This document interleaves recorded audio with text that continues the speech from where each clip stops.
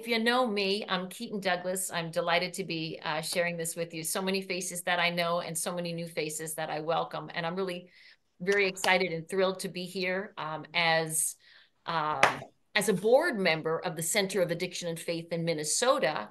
Uh, and I'm delighted to welcome uh, Katie Wilbur, who is um, our, our, communications coordinator and director for the Center of Addiction and Faith, who are joining us today and kind of making things move smoothly. And I am delighted to have the opportunity to introduce you to a book that I wrote with our co-author, Lindsay Schlegel, who will be joining us not today, but on another day. She is, God bless her, the mom of five. little ones. So sometimes during the day, these sex this is a time things don't necessarily work out so well for her. But she promised me that before our study is over, that she would indeed join us. Um, if you know me, then uh, I, I usually do two things when I when I start. I usually uh, I always have to pray, and I always I usually sing. But this isn't the best uh, forum for singing, so I'll hold off on the music for now. Um, but I will ask us all if we could join in prayer as we begin this session. I'll lead in a, a very short prayer for all of us as we bow our heads and we ask our Heavenly Father, good and gracious God, we are your loving children, and we are so thrilled and so humbled to be together today in your presence. We ask that you fill us with the Holy Spirit, that you imbue our hearts with your love, a love that is so deep and so powerful and so beautiful that it will carry through to us and to all those that we seek to serve. May we always mm-hmm. seek to be beacons of light to all those who exist in the tangled portion of your vineyard. We will always seek to toil there. In your name, we pray all of this. Amen. Amen. Amen. Well, so exciting to see everybody. Again, I welcome you here. I want to give you a little bit of an understanding of how uh, our session will hopefully proceed today. Um, I had sent out, Katie had actually sent out something that uh, said that we were looking at the introduction and chapter one. In each one of these sessions, we will be discussing two chapters. In this case, the intro and the chapter uh, for uh, of the book, The Road to Hope. And so I'd like to do it this way, that I'd like to give you um, a little bit of a talk about what my intention was with regard to the intro, and then I'd like to entertain maybe 10 or 15 minutes of questions. I probably won't get to all of them uh, uh, to talk about it a little bit, and then to do the same thing with chapter one. I'll give you what my intention was, what I hoped to have you take away from it. And then I'd love to hear your takeaways. Um, at the very end of our session, the perhaps like the last 15 or 20 minutes, we're going to break out into rooms just a few. And for about 15 minutes, I'd like to have you talk amongst yourselves. I'm going to give you one of the reflection questions, and I'll give you a little bit further instruction about how to do this You're when so we funny. get there. Um, to talk to you about uh, a reflection question I want you to think about and ponder. Then we'll come back into the main session. And when we come back into the main session, we will say a closing prayer. I'll give you directives for next week, and we will move on uh, in faith. Amen. Amen. Amen. Another thing I, I just wanted to share with you is um, we are indeed blessed because we have people of all different denominations here. When I wrote this book, I'm a Keaton Douglas, a Roman Catholic, and I wrote it because I perceived that my own faith, which was a very large church, which has a lot of organization to it, was doing very little. And I wrote it from the perspective of hoping to change my church. However, whenever it says Catholic, please, this expands to your faith tradition, to your denomination, to wherever you are at. This works for you as well. This, when we are working with our brothers and sisters suffering from the disease of addiction, is ne'er a time to look at any differences this is a time when we come together as children of God, as brothers and sisters in Christ, to begin this walk together. A time when we can truly disregard any differences and embrace it. As far as I'm concerned, if you have a love of the Lord and a deep desire to help those on the margins, you are in. I love you and I thank you for being here. All right. So I just wanted to put that put that aside for now. Um, I'd like to begin today's discussion with the poem that starts my book. I didn't write it. It's beautiful. It was written by a woman that has taken my course, who is the mother of a son who suffered from addictions for years, and thanks be to God, now has eight years of sobriety. She is a poet, she is a theologian, she is a professor. Her name is Lynn O'Gorman Latchford. And this uh, is at the beginning of the book. It's a poem called Unbearable. And what it speaks to is a parent looking at a child who suffers. And I know many of you, because I know many of you, have been in this position. And I want you to hear it through Lynn's eyes and her words. Unbearable. The pain in your eyes, unbearable to see. Rushing to you, my impulse to stay close, don't let go, carry you through. And your Christ eyes pierce my soul. My God, my God, I can't abandon you. The reality, waiting, no intrusiveness upon your agony, slack with grief, watching you breathing in and out to pass the time, tiredness all around you, and your Christ eyes pierce my soul. My God, my God, I can't abandon you. Resignation overtaking you, and I am silent, waiting for the moment to embrace you, absorb you, pull you through me, suffering cast out. And your Christ eyes pierce my soul. My God, my God, I can't abandon you.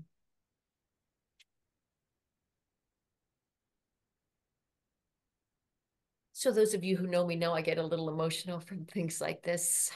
Part of the reason is I work with so many parents and I know this feeling and I'm blessed that it's not a feeling that I have for my own son, but I have many spiritual sons and daughters. And so uh, this resonates greatly.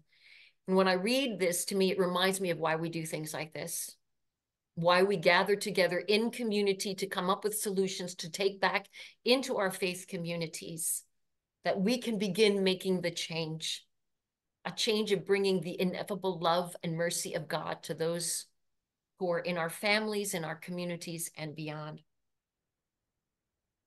So the first chapter of our book that Lindsay and I wrote, The Road to Hope, is uh, the first introduction, um, explains a lot about why we're here today.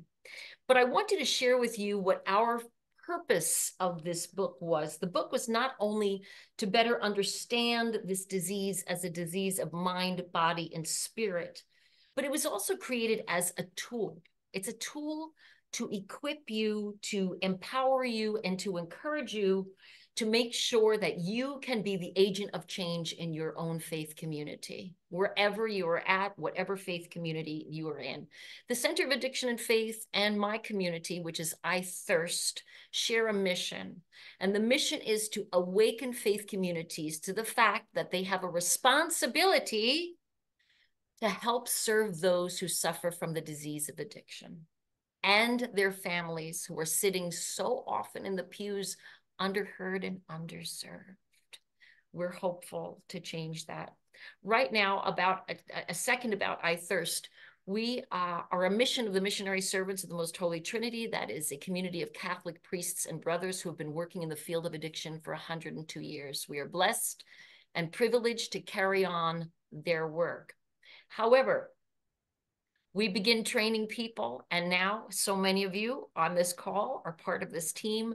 We have trained more than 300 people who are worldwide. We are proud to say that we have now uh, got people working as I Thirst spiritual companions, being that resource person in our faith communities in 41 different states, as far out as American Samoa and Pago Pago. We're in Dublin, Ireland. Uh, we are in Costa Rica. We are completely bilingual, and now we are teaching um, and and participating in the opening of a retreat center and a, a treatment facility in Abuja, Nigeria, Nairobi, Kenya, and also in Johannesburg, South Africa, because this is a worldwide problem.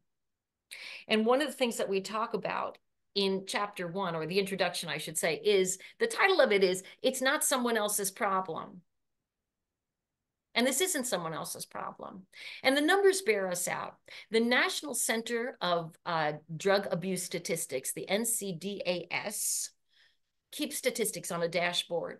Currently in the United States of America, where there are 335 million individuals, 40 million of them aged 12 and over are suffering from some sort of substance use disorder. And that's irrespective of all those that are suffering from other non-chemical uh, addictions, pornography, gambling, uh, shopping, overeating, uh, uh all sorts of, of, of, attachment disorders. Amen. Uh, so many people are afflicted.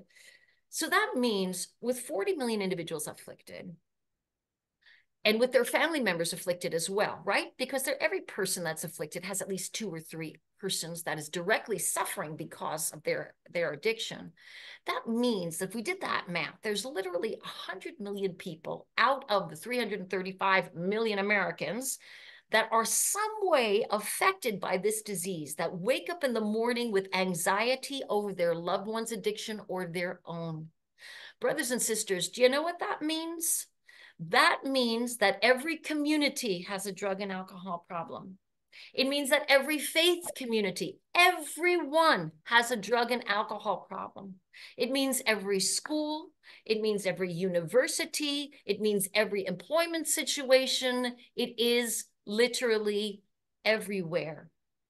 And therefore, it no longer is someone else's problem. This is a universal crisis that we must participate in its uh, remediation.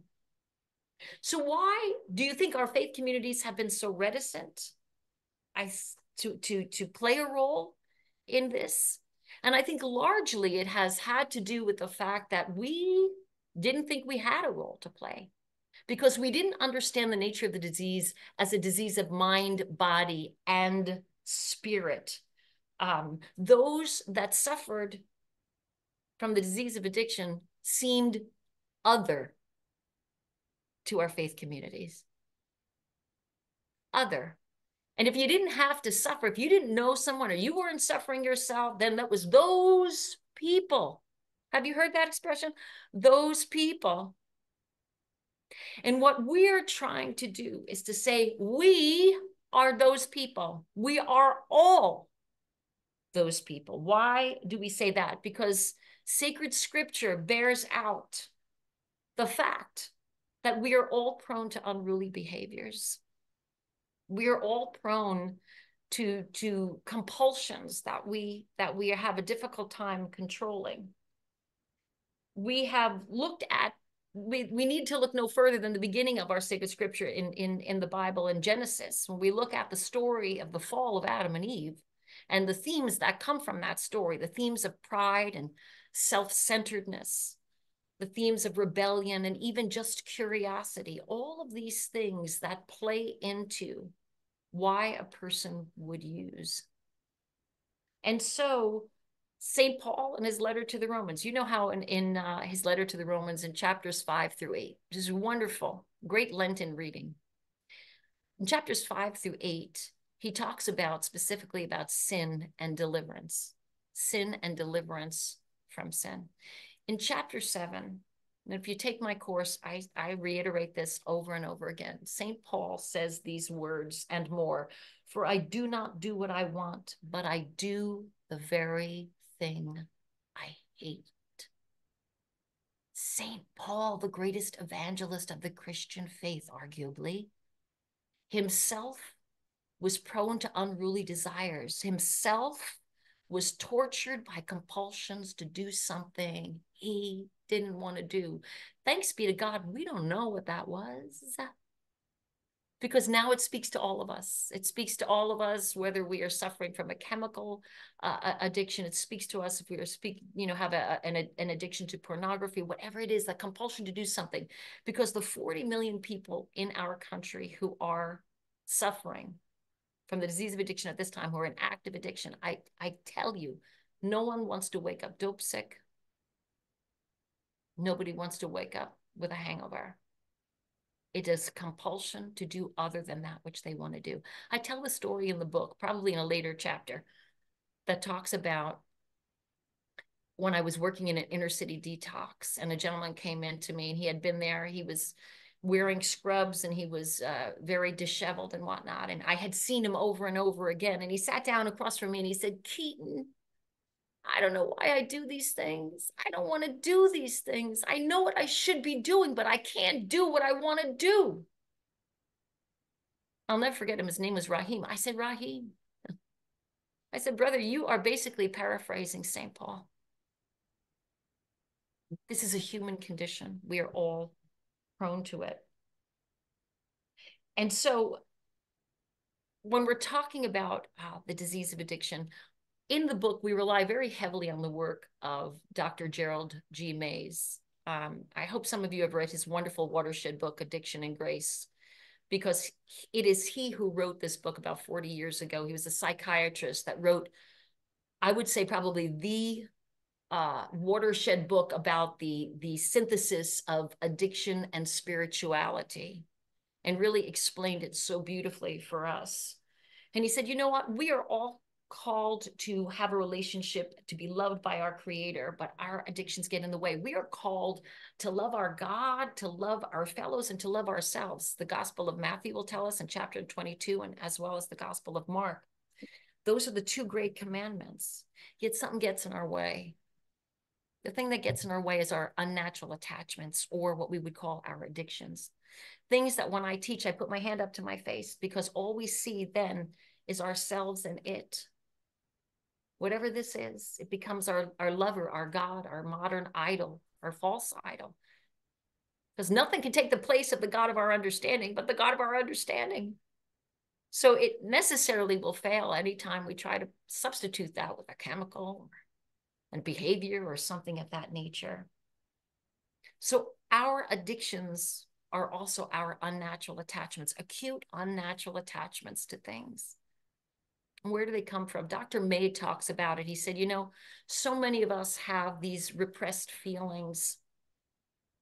We have things. I, I own a horse farm. So if you've taken my class, you've heard this story a billion times. I own a horse farm.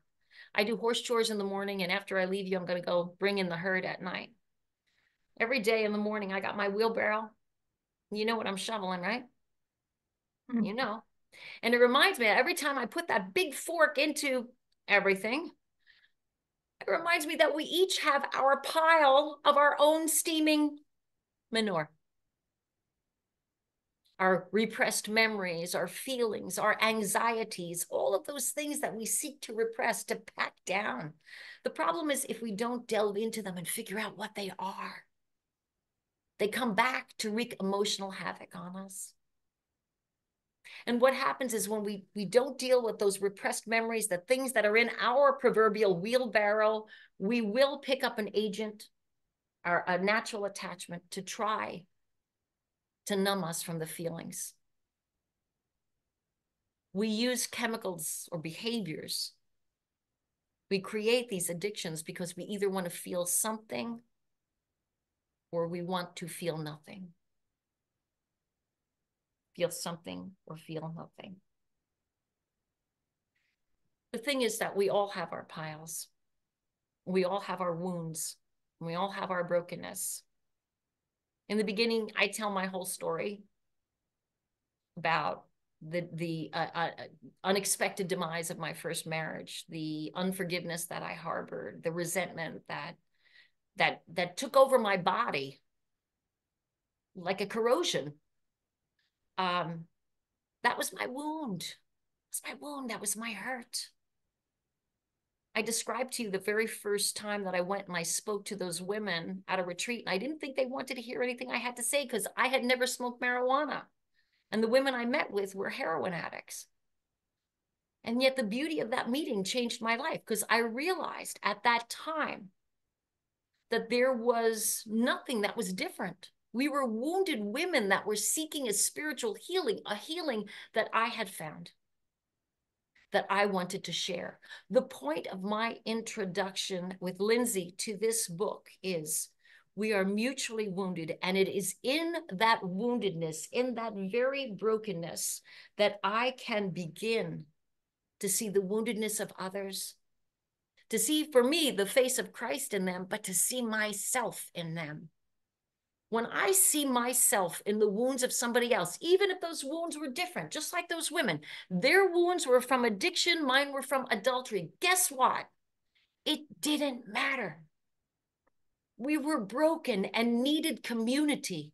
We were broken and needed support. We were broken and we needed the spiritual healing that only the Lord could give us. And that day, what we found was compassion and love and mercy in each other. We found community. That's the beginning of where we need to go. When I look into someone who suffers, I look to see the face of Christ in them. I look to see my face in them. I look to see my suffering in them. When I see that, I know that there is no other, that we can dispel the myth of the other to make a change. And I know we got to start doing that right now. At this point, I'd like to entertain if any of you have questions. I could take a few questions or or comments about your thoughts or feelings on that introduction. I see so many smiling faces that I know. Hi, Marty.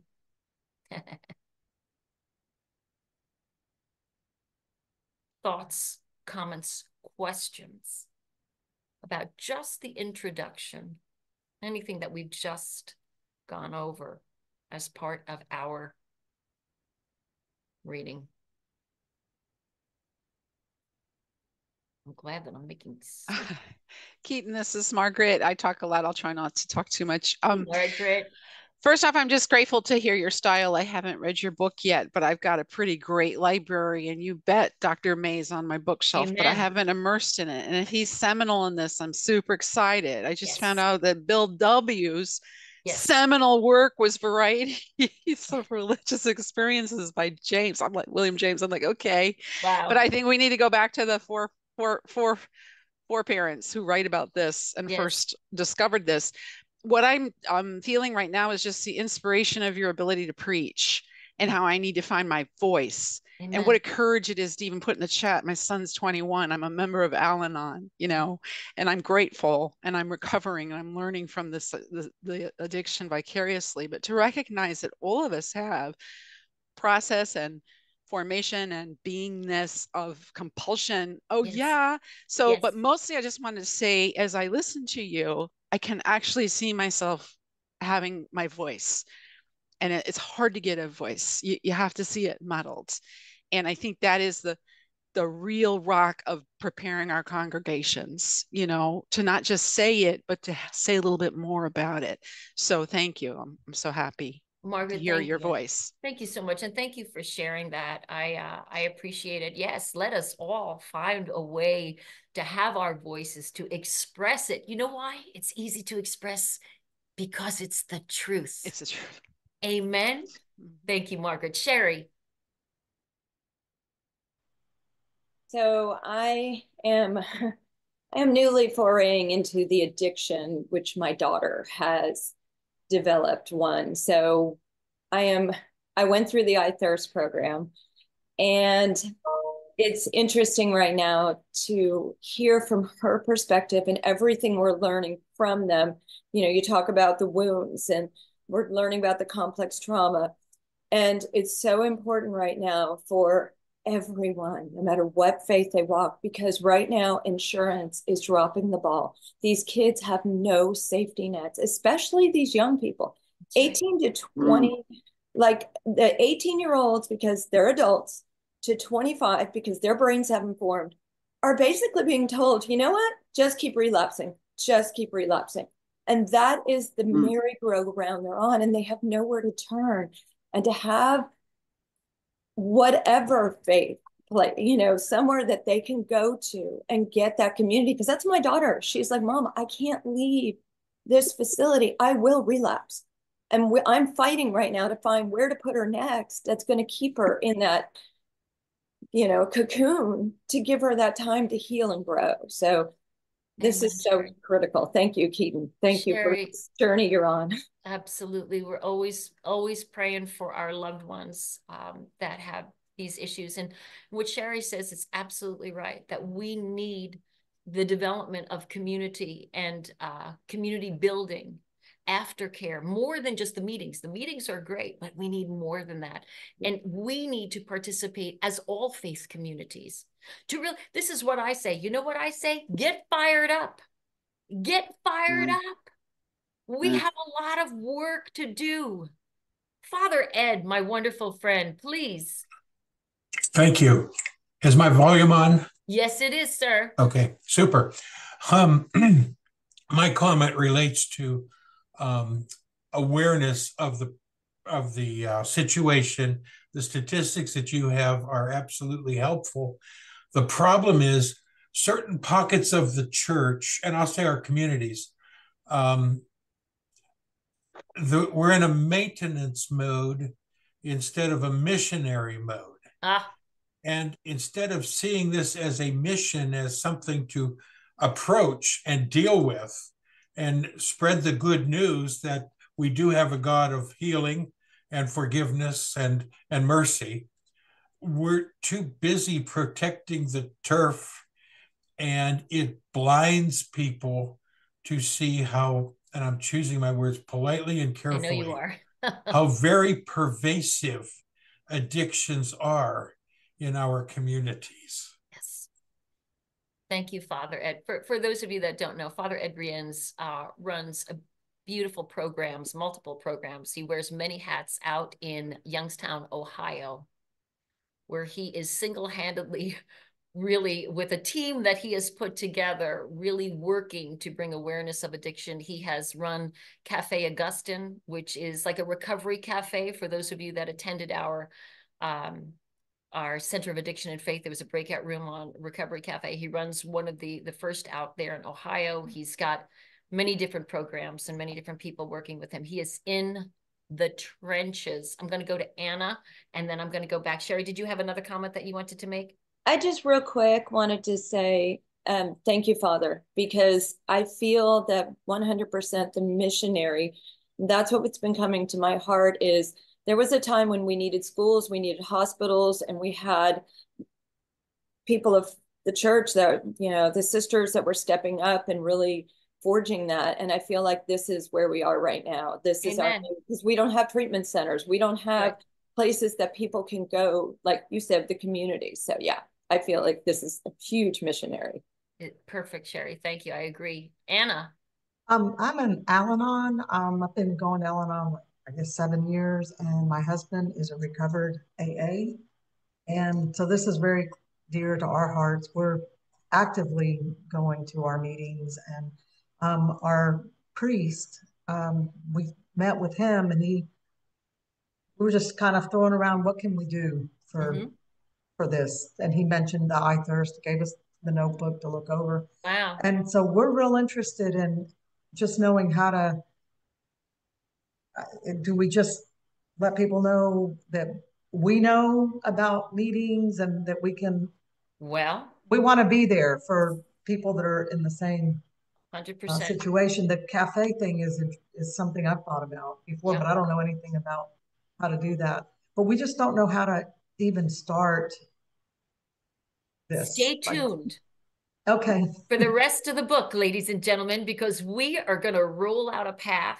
And for those of you who are more interested in taking our 48 hour course with certification, another course will begin. It's virtual. You get uh, online certification through Seton Hall University and I Thirst, and it will begin on April 9th. I'm going to, the next time, Katie, next week we will post the uh, the link to it if you're interested. Res, uh, registration is now open. So we are training people. I see many of you here have been trained by our, by our group.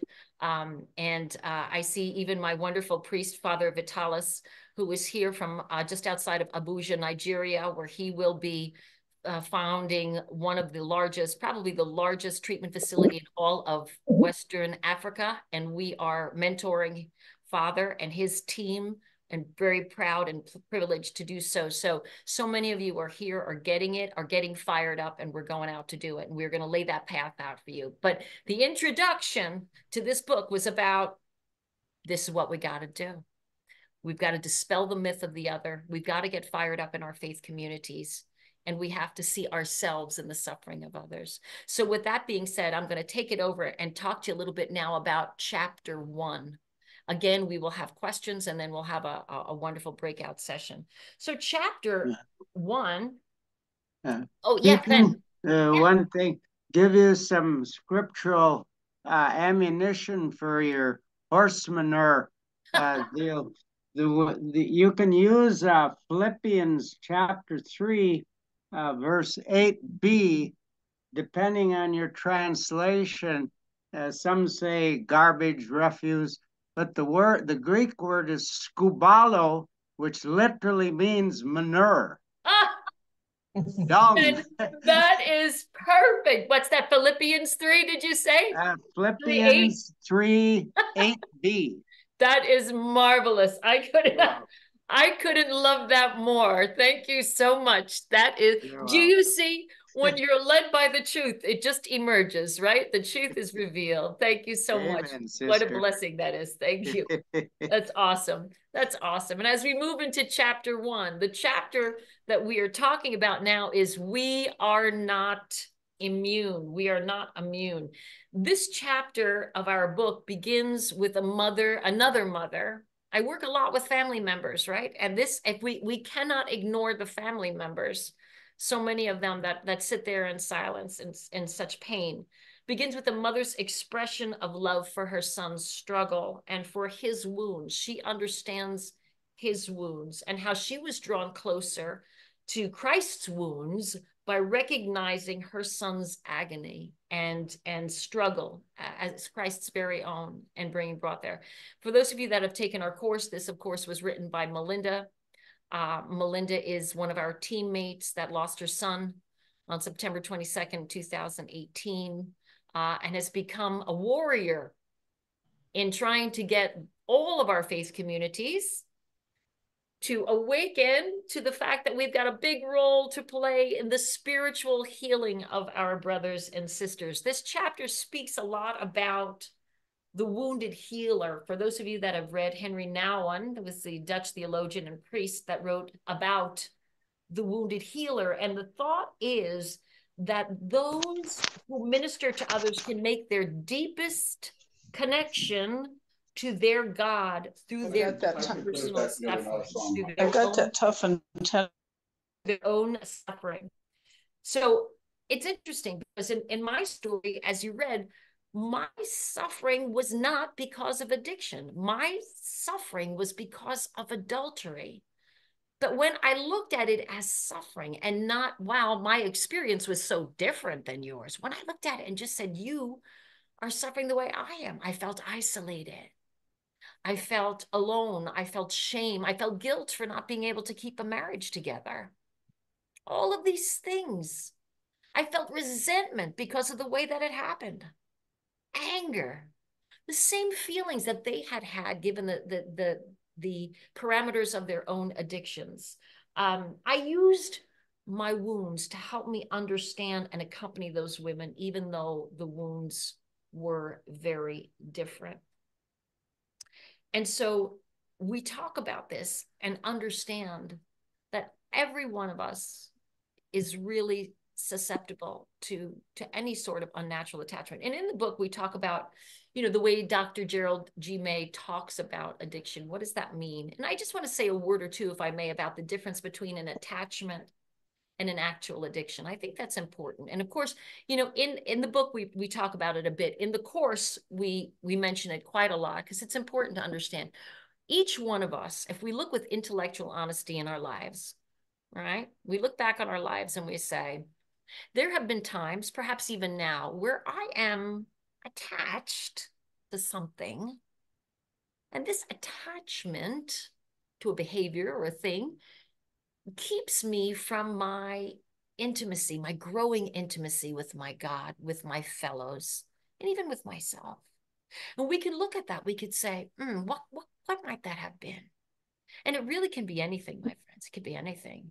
I know in my life, I had a time when I was a young woman on Wall Street. I was the only gal in my department. This was back in the, the Stone Ages. And I was convinced that I was going to be the first woman assistant vice president. I was going to climb my way up to the top. And I did to the neglect of everything else around me, including the early part of my marriage. Hmm? I became attached to that idea, the idea of prestige, the idea of breaking the glass ceiling. That became my attachment. It distracted me from relationship, relationship with my God, with my fellows, and with myself. And clearly, it was my husband. That became one of my attachments. There have been other times in my life when I was a professional entertainer where the need for self promotion was my attachment. Now the difference is if we think about it, and I and I I, I share with you this this story about bringing this to a a, a catech. I, I, we bring a lot of our work to young people, catechism, confirmation classes, Sunday schools, to talk about you know how faith communities can support and shepherd our kids into a better spot. And I remember one time I was teaching or giving a, a talk, and it was virtual, and um, the parents were there and the kids were there and i'm talking about attachments that we get attached to things in our lives that keep us from really developing this relationship with god. And there was a little fellow there all by himself no parents and this is how his computer looked. All i could see was his eyes and the top of his head. And he raised his hand and he said i think i have an attachment. He said i play video games and I can't stop. And my mom tells me I should stop, but I, I think I have an attachment. And you know what? I had one of my guys in community, those of you that know my partner, James, that comes to speak to us often. James said, I'm so proud of you. The little boy's name was Sebastian. I'm so proud of you, Sebastian. I'm so proud of you for recognizing this because our attachments come at us in all different ways. But when do those attachments become addictions are so acute that all we can think about. And that's what Dr. May talks about in this chapter of the book, where we develop a tolerance for it. We need more and more, where there's a withdrawal from it. Because I bet if you thought about it, right? Maybe you're attached a little bit too much to Netflix. Or how about how about this thing? How about social media, posting about your family and things like that? We don't even know it because sometimes these things are benign, but they keep us from deepening our faith from deepening our relationship with our God, from deepening our relationship with our fellows. This relationship, this relationship is the very cross itself. Our relationship with our God, with our fellows, the two great commandments to love our God, to love our fellows as ourselves, that's the very cross itself. Our addictions get in the way when we can only see ourselves and them. St. Thomas Aquinas talks about it, breaks it down, and says there are four major categories for our attachments they are wealth, pleasure, power, or honor. Think about it. Think about it. Things that we get attached to. So, why are our faith communities important now? We are important because addiction is at its root a spiritual malady. Of course, there are devastating physiological things that are happening. It's a brain disease, for sure. There are maladies that transpire all over a person's body. I, I recount in there, where I would sit with John uh, in, in the hospital because he would inject between his toes and he would get cellulitis up and down his legs. I sat, I sat. I know these physiological problems, myocarditis, all sorts of strange infections. Yes, there are psychological problems. There are so many co occurring disorders with this disease. Probably 80% of the people that suffer from a substance use disorder have a co occurring disorder with mental health issues. Absolutely, they need to be taken care of. But the hallmarks of the disease of addiction, the isolation, the shame, the guilt, These are part of one's spiritual condition and they need spiritual healing. They need spiritual healing that cannot, for various reasons, be afforded to them in a clinical setting. Who then, who then should fill in that gap? My brothers and sisters, this is clearly a disease of mind, body, and spirit. This is clearly a disease of mind, body, and spirit. But for too long, we have neglected the spiritual portion of it. Our faith communities, I will tell you later on in the book, have acted like the priest and the Levite in the story of the Good Samaritan. They are holy and they have walked past the bloodied man in the street. Why? Yes, the cultural context tells us that to touch that person would have made an unholiness about them. They would have touched that person's blood. I get it. But Jesus is the one telling the parable. And what does he say? Who comes and helps him? The Samaritan himself, somebody that would be ostracized for being quote unquote a, a half breed in that society. It's a cast out. It was the one cast out that came to help, that took the bloodied man and put him on his own beast and paid for him. And Jesus tells this story and he says, Who is this man's neighbor? The answer comes back the one who showed him mercy. And Jesus says, Go do likewise. That's what we're doing. We're going where faith communities haven't been before. We're going in. We're going in. And that doesn't mean only in your parishes or your congregations. This means we're going into treatment facilities. We're going into correctional facilities. We're going into reentry programs. We're going into hospitals. Wherever there is the need, we will go. Because people like us need to be the ones to provide that spiritual healing. And we need to awaken our faith communities. We got to rattle the cages to let them know. I'm going to read to you the last two paragraphs of page 32 if you'd like to read along with me.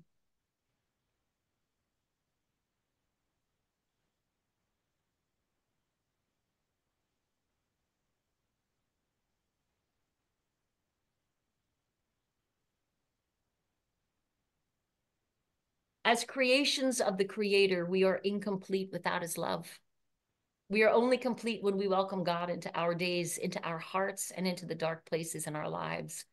When we do, we can restore the love that has been distorted. We can again embrace the commandments that tell us who we are and what we're called to do and be. This restoration is what we call recovery. So much pain and suffering surfaces when we work with people struggling with addictions and with substance use disorders in particular. The twist is that this pain and suffering are exactly what give us the key to reestablish communion, harmony, and life. I'd like to take the next couple of minutes to discuss any of your thoughts or questions with regard to to section uh, chapter one or the introduction if anything has come up. We'll do that for a couple of minutes. And then we're going to try breaking out into little rooms for just 10 or 15 minutes to i'm going to give you one of the reflection questions and just go around kind of briefly and maybe talk about it a little bit. I want you to start talking. Margaret said we got to find our voices. Margaret is right. We're not ashamed anymore. We're going to talk about this. We're going to talk loudly. We're going to say it loud. Amen? Come on you're getting me all fired up. I only had one cup of coffee because i knew i was going to get a little fired up. Questions, comments, chapter one. Tess. Now, you know, I was going to say something. Far, far, from when I first started this whole beginning on, on a couple of years ago, I would so not say anything, but um, I loved what you said about us having to get people fired up. I find that I carry my I thirst cards with me wherever I go. I was handing them out in Portugal. So it's it's not about it's not about um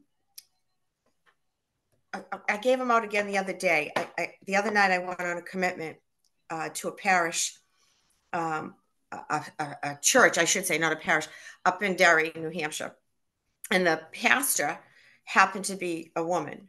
And um, she was getting her 31 year medallion. And I went up to her afterwards and I explained a little bit about what I do with, with my I thirst. And I gave her a card. So, and, and I explained to her that it's any denomination and if she needed anybody to come and talk or help her out with anything. So I, I find for me, I tend to, where my life is today and where it was for, almost 14 years ago, or even 14 years ago, I am, um, I'm in a whole different place and it's very God centered and God spirited. You're right. It's threefold. This disease is threefold: my, mental, physical, and spiritual. We all know that. And but I find for me when I speak and I go to speak, I, I don't really talk too much about what happened before. Right. I talk about where I'm at today.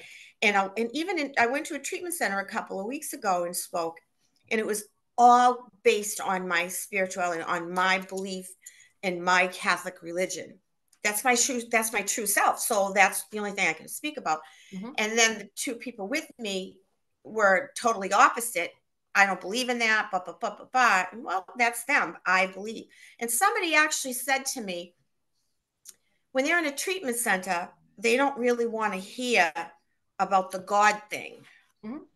and i said well when i go to speak whether it's a treatment center or at a meeting that's where I'm at today. So that's what I have to say. That's my truth. And um, because without the grace of God, I wouldn't be here. Probably. I understand. I, I and I I love this Tess. And let me just let me just draw one little differentiation because uh, yep. So the one thing is, it depends whether are whether or not you are there to share your story, your experience, mm-hmm. strength, and hope. Mm-hmm. That then you have to tell your truth. That's you. And that's mm-hmm. beautiful. Mm-hmm. That's wonderful. We all want to hear that. When I go in, and if you go into a place differently, we can go and provide non denominational spirituality sessions that mm-hmm. will begin to introduce people to the fact mm-hmm. that spirituality is a necessary dimension of wellness. And that's where the thing like the spiritual breadcrumbs that we talk about. Yes. In right? So I'm not talking about mine. I don't go in and tell them my story of that. Right. There's two different things. There are two different lanes. Yep. If you're going to give your meeting about your things and share your experience, strength, yes. That's one thing. If uh, if you're going into a treatment facility because you've been invited there to give a spirituality session, then when I right. go in, I say to them, it's a necessary dimension. Well, but what does it look like for you? And here's mm-hmm. the thing for many people in early, if you're going into facilities, whether they're correctional or treatment facilities, you're right. Many people don't do the big G word, the God word yet, yet. So when I come in, I give them an approach. I say, I want you to develop a relationship now with G O O D, that which is good. Because when people remember, we are all conditioned in our DNA to see things that are bad, mm-hmm. right? That's, uh oh, Neanderthal man. There's some ruffling in the woods. It must be the saber-toothed tiger or whatever, you know? Mm-hmm. It's the, you know, it's that kind of thing. It's like, we better run. Like it's protective. We see right. what is evil. That's part of our DNA. So when we have been under the rock of addiction, under the abyss, whatever that is, when we begin to emerge, if someone comes at us with the G-O-D thing, it can be for many off-putting. It doesn't mean that we're not bringing it. Right. If we can just right. plant a little seed, that's that, right. That's, all that's a little right. mustard seed, you know. And that's why I say it's not the whole thing that I talk about, exactly. but it's but before, during, and after. Yes. If you're giving your story, if you're mm-hmm. going to bring, you know, a spirituality session, which, you know, it, it would be a different thing. And I would tell you to focus on good because good leads to beauty, beauty leads to truth, and truth leads to a pursuit of the God of your understanding, whether you know it or not. That's not me, that's St. Edith Stein. I think it's pretty clever, right? So we kind of go in gently. But thank you for sharing that, Tess. I appreciate it. Anna. Um, I was going to say that when I've had similar situations, sometimes you can say um, God or a higher your higher right. power, right? And um, and good is another way to do it. Right. I love right. in on page 26 where it says addiction is really a desperate response to our desire to fill a hole in the soul that only God can fill. Amen. And I I've said this before because I am I'm Christian. so I say this and it's inevitable how many times people will just say, yes, I agree with whatever denomination. I don't even ask them about that. Right. Yeah, of course. But we're on the same page. Yep, um, absolutely. Absolutely. A desire to fill the hole in the soul.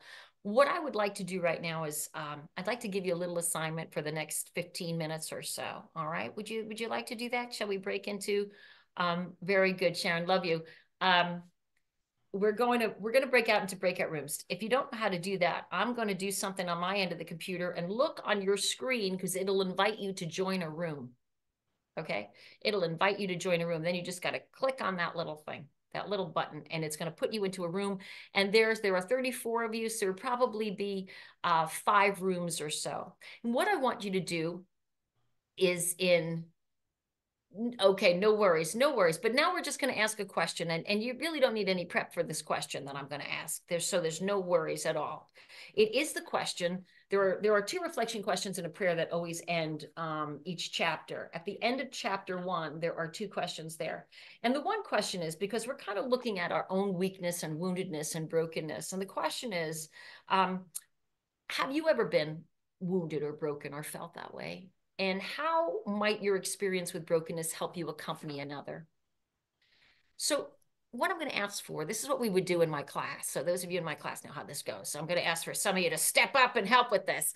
Um, if you're in a class, you could become the facilitator and just go around. I want to know if you thought about it. Has there been something in your life, very briefly? Maybe it was a loss of some kind, or the loss of a job, or the loss of a loved one, or something that broken. And how do you think that might help you see your brokenness in somebody else that you're accompanying? Is that good? Any questions? I'm going to pop in and out of the room. So I'm going to help you along with things like that. But every room needs a facilitator. Step up, my people. And um, and, you know, of course, because we've got time constraints, I will ask you that, uh, to, to, tell you that brevity will be most uh, appreciated with regard to your commentary so that everyone has an opportunity to go. Um, again, if you wind up taking our course, There'll be a lot of time for us to talk, as you guys all know. But it would be important for you to share a little something or your thoughts about how brokenness, particularly your brokenness, might help you to accompany another down this road. Okay, it's 157. I'm going to break this out. I'm going to close the rooms. Okay, very good, Ann. I'm going to close the rooms probably uh, a few, like about 12 minutes after the hour. All right, so we can come back and pray. All right, everybody, here we go breakout rooms. Okay, here we go. Ready? And get ready for that little button. With regard to the book, here's your homework. Um, one of the things that that Katie was so kind to send out was an email uh, that said, if you could read, read, and have be prepared to journal so what I want you to do for next week, next Wednesday at this time, is I want you to read chapters two and three because we're separating into the Bible, chapters two and three, and I want you to journal the questions at the end of them because I'm going to ask you different questions next week for your for your breakout session. I want you to be able to discuss some of those questions that you've already thought about and maybe journaled a little bit about during our question and answer period like that. I think that would be super helpful. So to read that uh, journal your questions, which would be marvelous. Um, and to invite anyone else, they can still join in. We'd still love them as part of the Center of Addiction and Faith. We thank uh, my dear friend Louise Olson here, who was uh, one of the, the beautiful primary people responsible for getting this all together. Our dear Pastor Ed Treat, who is the executive director of the Center of Addiction and Faith, is in the flight right now. He he phoned me from uh, from the the airport to wish us all well and to continue the mission of awakening faith communities. So I'm going to leave you. You I thought we could all read together the uh, the closing prayer, which is on page 33. Which is on page 33. Okay. And uh, We'll read it together as we bow our heads and we pray out loud God and Father, giver of all good things. We know you have poured out your love and mercy on us like a fountain that washes us clean.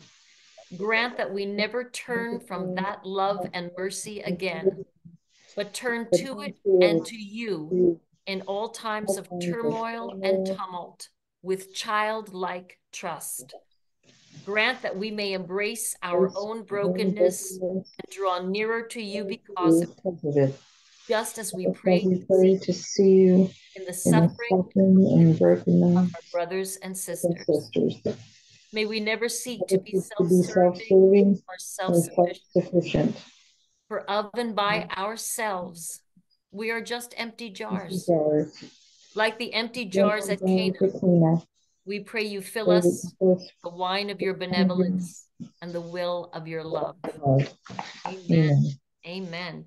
And uh, the next meeting is next Wednesday. This is a five week series, same time, same bat time, same bat channel. We'll see see everyone back. If you don't have the book, it is readily available on Amazon, The Road to Hope. You could find it on our website, ithirstinitiative.org. Um, but it's on Amazon. That would probably be the easiest. It's on Barnes and oh, Katie did that. Very good. Katie's posted in our chat the link right to the book. Um, we will be um, we will be meeting. As I said, we welcome additional people. This is our course information every week. We're going to be posting uh, how you can enroll in our course, which begins next week. Here's my dear friend Robin at the end of my class. Where is she? This beautiful lady. Um, and we are going to be really super thankful to have Robin Lavarato, you beautiful girl. We're just ending. We're just ending. Oh no. Next week, it's at one o'clock our time. Next week, you join us. It's a five week series. We'd love to have you. Robin runs the Essex Health and Wellness Center. She is a a beautiful woman of faith that is bringing spirituality into our treatment facilities. She is single handedly taking that on. And we are so thankful for her and for all the good work that she does. So, listen, this is a disease of the brain. Eh, there's, a, there's a brain chemistry that has to, this is a disease of the mind. There is, uh, and, and physiologically, there are, there are devastating health issues you can call it a brain disease. You can even call it, some people call it a bad moral moral choice or moral failing. I say that's our gig anyway, isn't it? To reach out to those, to reach out to those that have gone astray morally. Call it what you will. Call it a moral failing. Call it a moral failing. Call it a bad choice. Have you ever made a bad choice? Let's let's see what the root is of that mm-hmm. pain at that that makes that choice. Call it a bad choice, call it a moral failing, call it a brain disease, call it a spiritual disease, whatever you call it. We have a responsibility and an obligation as church to help in the spiritual healings of our brothers and sisters and their families who suffer. Amen. Amen. Love you all. I'll see you next week. Thank you for this journey. Class, I'll see you tonight. Bye-bye. Bye-bye. God bless you. See you soon.